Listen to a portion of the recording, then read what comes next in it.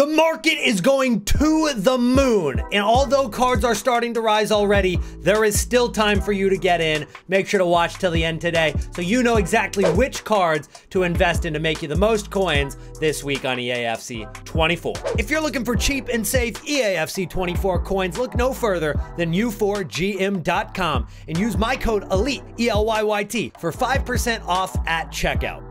Welcome back to episode two of Trading to Glory. Not only did you guys smash it for episode one, but you also gave me over a hundred players to look at in terms of investments. And I'm gonna give you guys my favorite investments and the ones that you should absolutely stay away from. I appreciate the support and let's go ahead and smash 500 likes on today's video in 24 hours. If we can do that, I'm gonna drop a very special episode three for you guys tomorrow. Anyways, Diani is 113K. I obviously spent more than what I could have gotten them uh, for on day one. She was down at about 70,000 coins for a lot of the day, but I didn't have enough coins to invest in her quite yet, and I'm still confident that she's going to rise higher. And the reason is quite simple. She's high rated, and she's meta. And you don't need too much more for a good formula to make some coins this week, but let's take a look at some of the cards that you guys suggested. Leonardo Parisi asked about Van de Ven, a 78 rated center back at about 18,000 coins right now.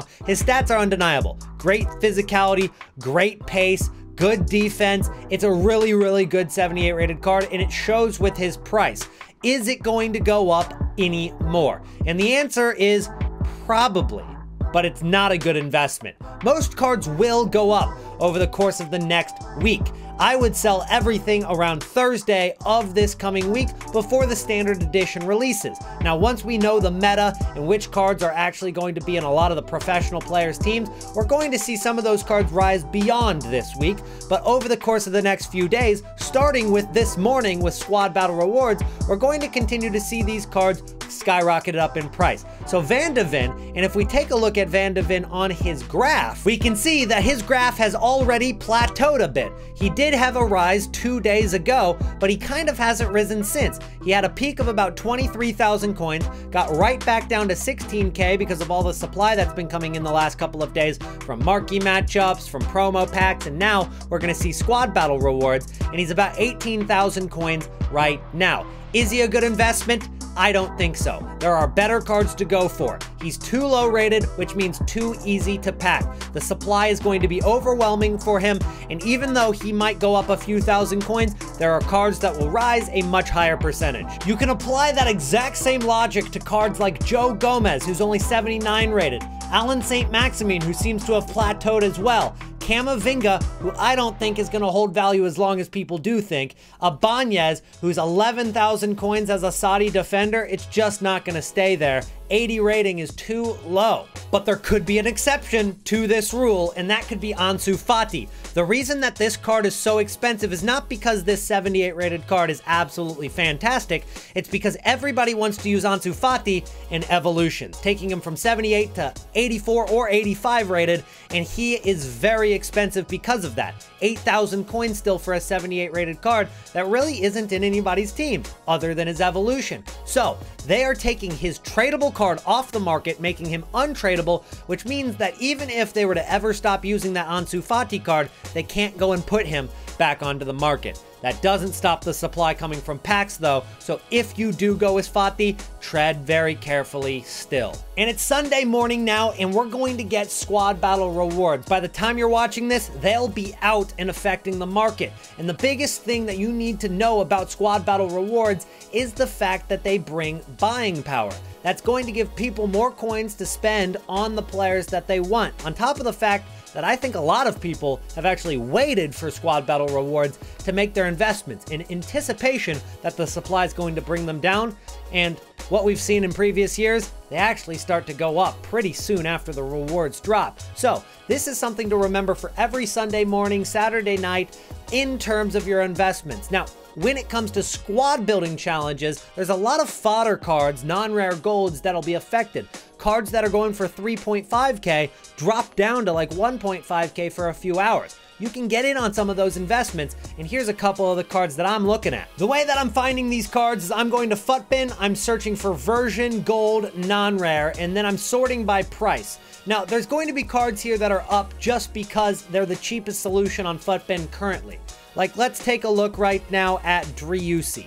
Driussi right now is 2,000 coins, but if we take a look at his hourly graph, he's never really been up to 2,000 coins until now. So it's not exactly a card that I'm going to be looking for. But if we look at Bellamy, her card is 2,700 coins, and if we look at her hourly graph, she has stayed above 2,000 coins and upwards of 4K a lot of the time because she is consistently needed in squad building challenges. Then Grace Fisk is another example of this, where her card has consistently been above a 1,000 coins. This is a good opportunity when the supply hits to try to bid or snipe some of these cards for 350, 500 coins, and then flip them a few hours later when they go back and recover to their normal price. Senjuma HDI asked about Benzema. And Benzema's a 90 rated card, super high rated, so you would assume great investment because there's not a lot of supply.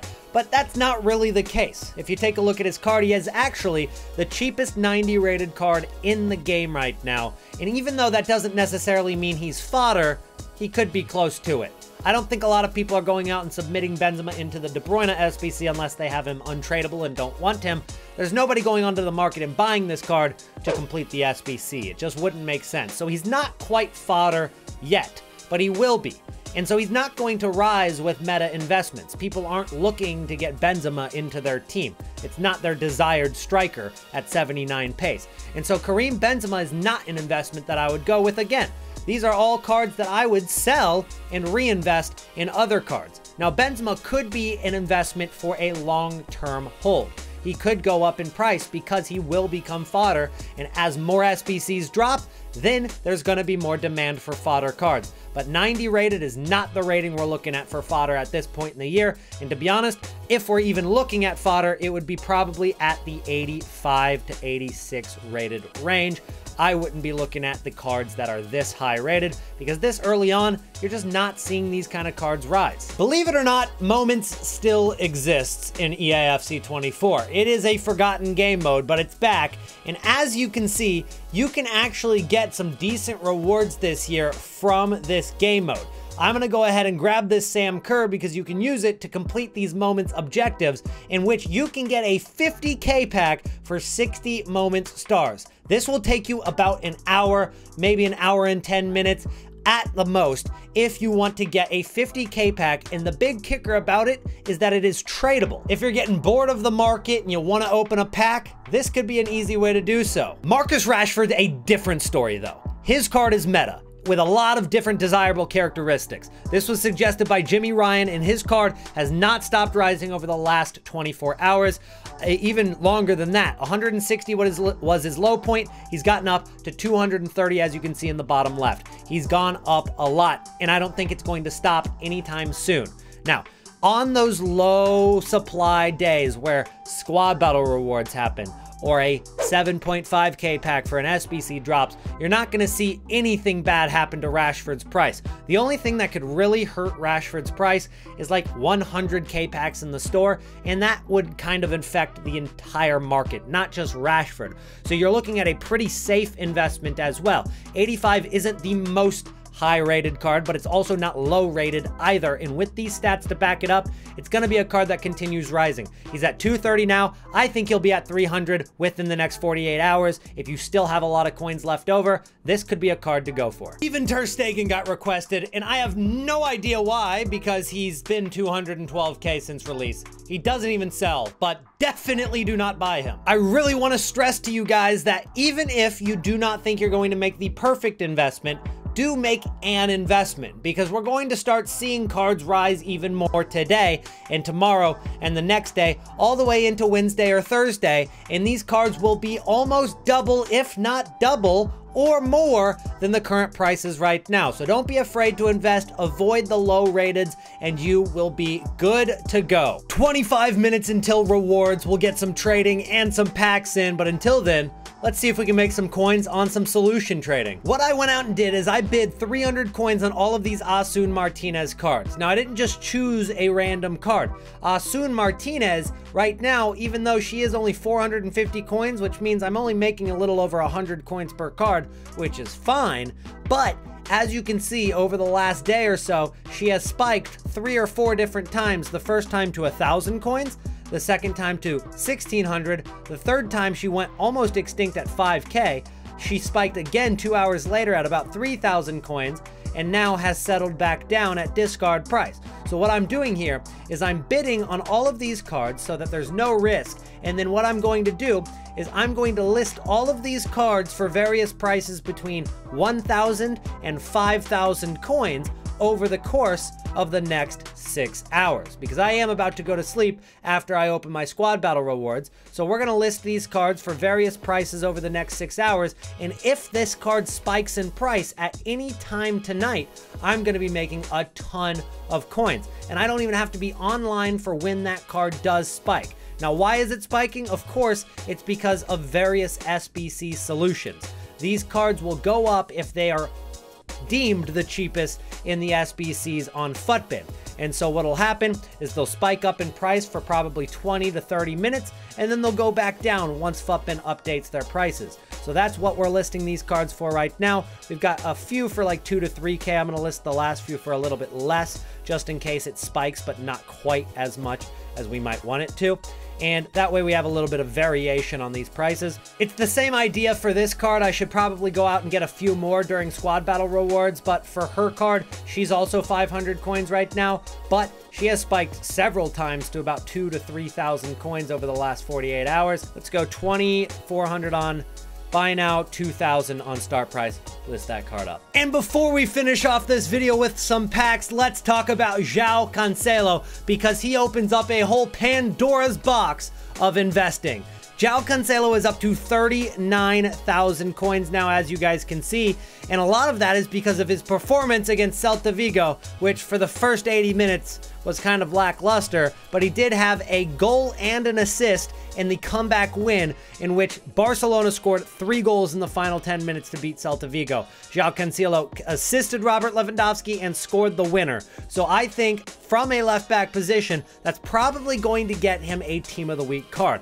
Now, of course, Lewandowski could still get that Team of the Week card, but I would assume that EA are going to give it to Joao Cancelo. But if you take a look at his graph, over the past day, he's gone from 20k to 40k. A lot of that rise is because of that performance and people anticipating him getting a team. And it is now confirmed that gold cards do go out of packs when they get a team of the week, and I would assume for any promo card as well. And I think it's proof enough when you look at Dybala's card, who is 132,000 coins, but his inform is 107. So that just shows the supply of the week. The gold card is obviously out of packs, and so we know that going into Team of the Week 2, we can make some very good investments in cards that are going out of packs. Joao Cancelo is going to be a good one. Harry Kane's probably going to get a Team of the Week as well, but I'm also interested on some of those lower rated cards that are still SBC fodder for hybrid nations, hybrid leagues, and those other SBCs that could go up a ton of percentage as well. Asun Martinez is already selling for about 2,000 coins. I'm excited to see maybe she sells for 3 or 4k here in the next couple of minutes if we're lucky, but that's gonna have to happen soon because squad battle rewards are in about two and a half minutes. Let's see if we can pack something good. We get a 25k pack, a 15k pack, and a 7.5k pack all tradable. That's going to add a lot of buying power to the market. I'm excited to see what that does to the prices of all the cards that we invested in this video and on my transfer list. Let's start with the 7.5k pack and work our way up. First pack is going to be French striker. Man United, that's Martial. Was starting to really hope for PSG there. You never know what it could be when PSG pops up. It could be Kolo Muani, it could be Mbappe, it could even be one of those players from the women's teams. And we get a shadow card. So the shadow card's actually the best pull out of that pack. For the 15k pack, gives us an extra rare gold, as well as being double of the pack we just opened. Center defensive mid from England. Oh, I was trying to do the math in my head. I'm like, when did Bayern pick up an English center defensive mid? But it's on the women's team, of course. Uh, Stanway and Galton. We got a couple of English uh, women's players, and they don't really sell for all too much. Now for the 25k pack premium gold players. Let's see if we can get ourselves a walkout. French? CDM. I don't know if there's anybody good that could possibly be a French CDM Uh, in the game this year. Kanté is probably the highest rated. Yeah, that's a really bad pack. And we actually did have a couple Asun Martinez's sell now for 3,000 coins, so it's working like a charm. And if you made it to the very end of the video, comment Asun hype down below. That'll show me you made it to the end of the video so I can appreciate all the OGs supporting the videos all the way through. And I'll make sure to drop a heart on your comment. Thank you so much for watching. I'll see you guys in the next episode. Peace out.